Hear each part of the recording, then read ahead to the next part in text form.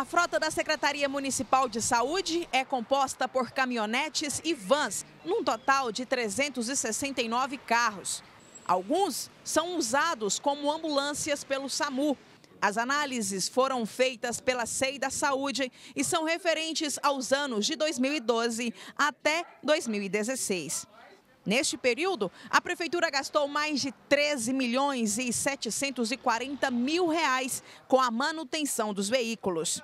Uma média de 37 mil reais por carro. Em alguns casos, o valor é maior que o do próprio veículo. Um recurso que poderia estar sendo aplicado, por exemplo, em remédios, é, em exames, né, estão sendo desviados, né, nesse caso específico, sobre a questão da manutenção de veículos, e não é um valor qualquer. Né. A comissão fez um ranking com gastos em ambulâncias neste período. O campeão de gastos é uma ambulância ano 2010. De março de 2015 a setembro de 2016, ela acumula 21 notas fiscais, no valor total de quase 90 mil reais.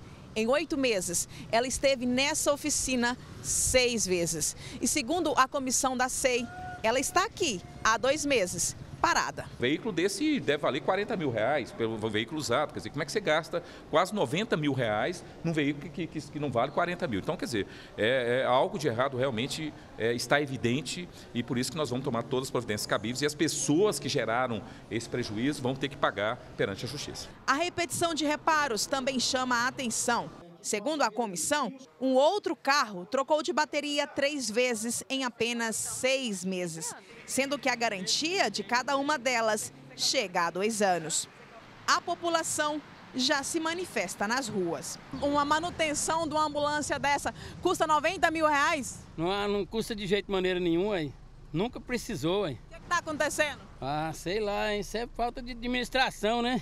A população hoje é assaltada diretamente na cara limpa de todo mundo e ninguém faz nada. Os responsáveis serão chamados para explicar o que de fato aconteceu. Quem pensava que essa comissão ia terminar em pizza vai se surpreender.